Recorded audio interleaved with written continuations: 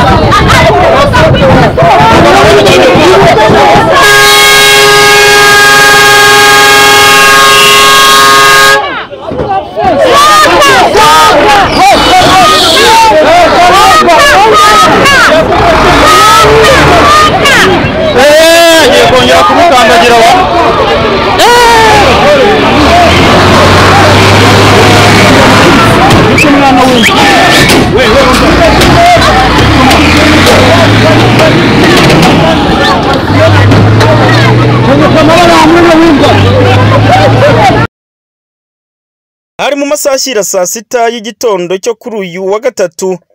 Ni bwo hafi y'ahazwi nka tamutamu ni mu karere ka rubavu mu burengerazuba bw'u rwanda habereye impanuka aho umusore uzwi ku izina rya desire uri mu kigero cy'imyaka iri hagati ya makumyabiri na makumyabiri n'itanu wari ufite igare yahetse amajerekani yagiye kuvomera abantu amazi yaje kugongwa n'ikimodoka cy'ikamyo gitwara imicanga cyamugonze kimuca iruhande kigonga igare rye n'amajerekani kibonye adapfuye gisubira inyuma noneho kiramuribata cyita kimuhwanya.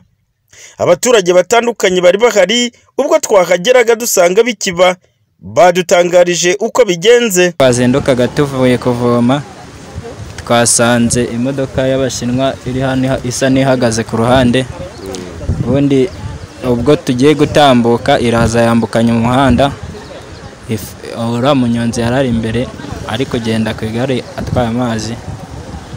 Ubwo imodoka imusanga hariya mu mubona aryamye ni ho yamugongeye. Yitaba imana. Ni inkuru ibabaje kuko aba bashoferi b'abashinwa bakabije kutugongera abantu. Arebye iyi modoka yaturutse hirya hariya barayihagarika. Nawe yaturebaga ko twamanukaga hariya kuko twari turi kumwe nyine tuvuye kuvoma. Turi batatu. Ubu bamuhagaritse arahagarara. Abona tugiye gutambuka nawe arongera arahaguruka araza aradusanga. Avuye no hirya azanye itaka noneho azanye itaka ni bwo no guhita abanza yareba ruguru ariko ntabwo yaharebye neza. Noneho mu kuza n'uyu nguyu umunyegare nawe ni bwo yahageze ari kugira ute yahagaze ku- kugira ngo abone uburyo amuhereza inzira. Noneho iriya gare iriba rigeze ute rimurushije imbaraga? Rikimara kumurusha imbaraga ni bwo ibido ya mbere yahubutse ku ntuza ku gare aba arayigonze noneho agira ngo ni we agonze kandi atari we. Noneho ni bwo twamuhagaritse turamubwira ati ubu uhagaze dore umuntu ntabwo wari wamugonga. Nibwo yagize ute yahise agira ute ahita akubitamo indi fitensi ya mbere ahita amunyuraho gutyo birarangira. Yamugongeye ubushi Eh, yari akiri muzima. Nta n'ikintu yari yabaye. None ni bwo yahise agira ute ahita amunyuraho ubushake ni bwo yahise akubise iyo fitesi ya mbere ahita amunyuraho gutyo basi birarangira nawe nyine niko yabivuze kubwo n'umumotari wari uhari bari twamuhagaritse akimara kumubwira ati reka reka umuntu abanze yava mu bupine kuko ntabwo wari wamugonga ni ho yahise agira ute? Nibwo yahise amuciraho. Akimara kumuciraho ni bwo yahise agira ute? Ahita akomereza ko ahita aparika aho ngaho imbere yarangije kumukandagira. Yarambutse nta no kureba hagati niyo abantu batabazi ureba ngo ntabwo akakumva atayinjira kuko dore uwa mbere baramwishe mu gitondo agana amasaha. N'uwa kabiri dore ni mu agana amasaha.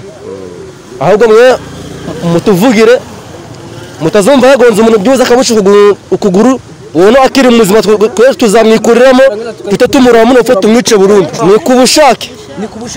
We ni inshuro ya kabiri wasanga wasanga na wundi wafunguye tena waje kwica abandi hano. Mm.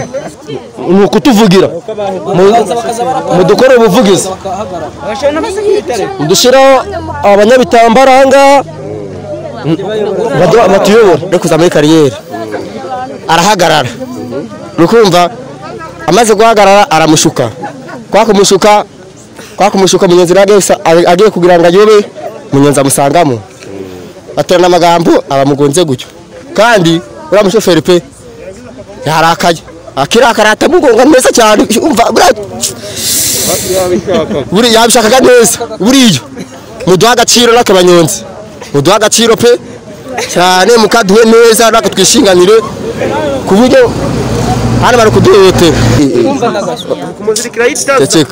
tukamutoza hano hepfo mu kivu. Mm. umunsi twamufashe. Yari yaborotse.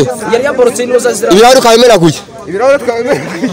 namushaka namwe ngo mu tumushaka tumume- tumute mu kisi araducika a- a- ajya kuri polisi yagiye n'imodoka ibirahuri twabimenaguye ko bari muri asirase hanyuma ibyo bintu bigatuma bagenda bangiza ubuzima bw'abantu uko biboneye. Ku bushake ndibaza kuba bari muri asirase no kugenda bagonga abantu mu mihanda uko biboneye bihuriye he? Aba baturage kandi banakomeje bagaruka ku kibazo cyahise gikurikiraho cy'isa n'ikidasanzwe dore ko bahise barya karungu ubundi iki gikamyo bakikubita amabuye barakimenagura bavuga ko ibikozwe n'uyu muntu ari ubugome. Ikigaragara ni uko none yaje gukuramo ake karenge asa n'uhungira kuri polise gusa aba baturage barasaba ko abantu bagombye kuzajya bubahiriza amategeko y'umuhanda. Ikindi kandi bakirinda umutima mubi w'ubugome n'ibindi byose bishobora gutuma hari ikibazo gishobora gutuma umuntu asiga ubuzima. Ku mpanuka yabereye mu karere ka rubavu ku gisenyi igahita ihitana umuntu bamwe bavuga ko yakozwe n'ubugome bw'uyu wari utwaye ikamyo. Nari celestin nawe wirusha amaboko btn tv miliyoni umunani ni amafaranga menshi. Niyo mpamvu nanjye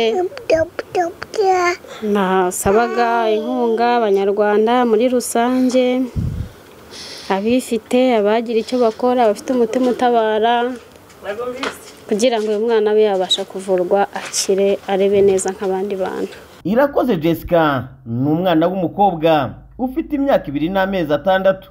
Ni umwana w'igitambambuga. Kubona ashimishije buri mubyeyi wese wamubona akamutera ubwuzu. Yagize ikibazo cyo kuvukana amezi atandatu byatumye ashyirwa muri kuveze mu bitaro bya kigali chik aza gukurwa muri kuveze ashyikirizwa umubyeyi we. Yaragize ikibazo cy'ubuhumyi ariko ngo nyina akubitiriza mu baganga batandukanye ngo arebe ko yabasha kuvurwa aya maso akaba yabasha kureba. Birananirana abaganga bamubwira ko aho yavurwa agakira. Ari mu buhinde ariko bimusaba kuba byamusaba amafaranga miliyoni umunani z'amafaranga y'u rwanda ubushobozi buba ntabwo. Nicyo nyina ahera hatabaza waba afite umutima wa kimuntu ngo abe yamugirira neza kubw'umwana we abe yabasha kumuvuza.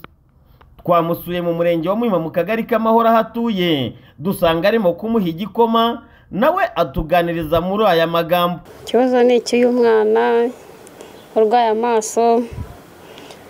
Nta yaravutse. Bamushyira muri kuvezi ziza kumwica amaso. Ariko nkomeza kuvuza bambwira ko azareba. Yavukiye CHK biza kwanga.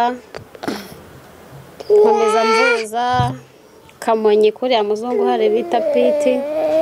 Niwe wambwiye ko uyu mwana mu buhinde babasha kumuvura agakira. Mu buhinde badusaba n'amakuru ibipapuro byose namuvurijeho ko nabisikanisha nkabyohereza. Bakampa igisubizo cya nyuma ko babasha kumuvura. Ibyo narabikoze. Dogiteri mukuru atubwira ko babasha kumuvura agakira akareba neza asaba itariki ukwezi najyaniraho umwana ariko naje kubura ubushobozi. Ubushobozi bukenewe kugira ngo umwana abe yavurwa ni ubuhe bwo kumushyira muri kuveze yari yavutse afite ikihe kibazo? Yari yavutse afite amezi atandatu bamushyiramo. Agize amazemo andi mezi abiri baransezerera nyine ndataha bambwira ko umwana ari muzima. Atatu ashize mbona ntarebye musubizayo bampa imiti ishyiramo bambwira ko yazareba ariko biranga. Navuje inaha hose nta hantu ntavuje bavura amaso mu buryo bukomeye biranga. Kuriya muzungu rero cyangwa se mu buhinde nibo batubwiye ko kuvura uyu mwana byahagarara miliyoni umunani. Ubushobozi ntabwo nabubona ntabwo nabubona. Miliyoni umunani ni amafaranga menshi niyo mpamvu nanjye nasabaga inkunga abanyarwanda muri rusange abifite abagira icyo bakora abafite umutima utabara. Kugira ngo uyu mwana abe yabasha kuvurwa akire arebe neza nk'abandi bantu. Nta papa we afite? Papa we yadutaye agize amezi atatu. Aragenda ajya no gushaka undi mugore. Mm. uwo mwana afite igihe kingana iki? Bagize imyaka ibiri n'amezi atandatu. Uwagira ubu bufasha ashaka kugufasha yakubona ate? Aho yamfashiriza mfite nimero ya telefone nayivuga ni zeru karindwi umunani ibiri mirongo itandatu n'icyenda mirongo itatu n'umunani cumi na gatatu. Harya tubwiye ko witwa? Ngwino ndebe jose. Uwagira umutima wa kimuntu yagira icyo akora ku bwa jessica. Akaba yavurwa agakira imana na yo ikazakwihera umugisha. Btn tv mu murenge wa muhima mu karere ka nyarugenge mu mujyi wa kigali. Ndindahiro valence papi.